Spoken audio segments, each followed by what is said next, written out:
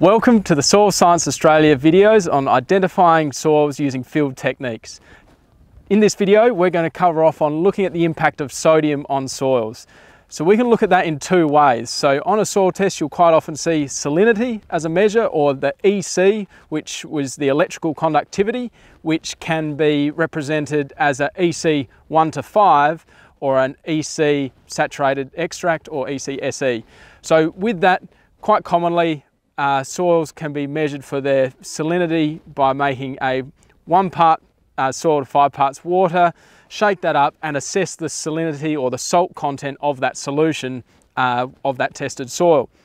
With that, we can understand how much salt is in that soil, which we want to know because different plants have different tolerances to how um, how much salt content is in those soils and will also have a negative impact on the soil biological activity in the soil as well.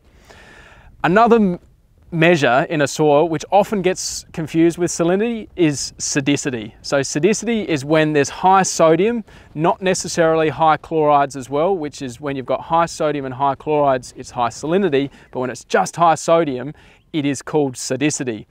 So with that, sodicity has a, can have a negative impact on the soil structure. So how that soil wants to hold together or break apart. So critically, how we test that in the field is we want to get some of your soil from the different layers and put that into some water and see how that soil behaves. So quite simply, I've gone in and grabbed the four layers, samples from the four layers in this soil profile, and we just need a pea size um, aggregate of the soil to drop into deionized water, reverse osmosis water, and if you are at home, use rainwater, just please don't use tap water because again, the salts have an impact on how these, um, these soils will behave. So make sure you get pure water um, to then drop these particles in. So what we'll be testing for today is seeing again how the soil particles will break apart in two stages. One will be slaking and one will be dispersion. So what we want to do is grab a pea-sized particle of the soil. This is the top soil drop it into the soil. You want it to be submerged. Then we go down, grab the second layer, drop that in, and then we get the third layer, drop that in, and then we'll get some of this fourth layer as well and drop that in. We'll do the same thing again in another Petri dish, set up exactly the same, this one with RO, reverse osmosis water, um, or deionized water, whichever you've got at hand, or like I said, the rainwater is another option. Drop these particles in there, place them in there, and see how they behave. So over here we'll look at the slaking initially. So what we wanted to see is when we've put that soil, that pea-sized aggregate of soil uh, in the water, we ideally actually want these soils to hold together. We don't want them to break apart. But as we can see, this top soil, which generally has more organic matter, is actually holding together quite nicely. This second layer, we can see it's relatively well intact, but there is some particles that have sloughed off and, and are around the base of that aggregate. This next layer down, we can actually see the little particles falling off the initial pea-size aggregate we put in there. So that is what we call slaking. So as those that soil particle is sitting in that water, the air's been pushed out as the water's going in and actually forcing that soil particle apart and then it all collapses.